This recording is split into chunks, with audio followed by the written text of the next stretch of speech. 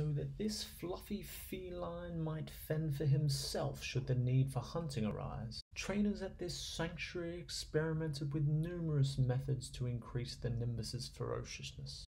Stuffed animals did not elicit the enthusiasm that the researchers had hoped for, however. A chance encounter with a long string like apparatus proved to be a significant breakthrough.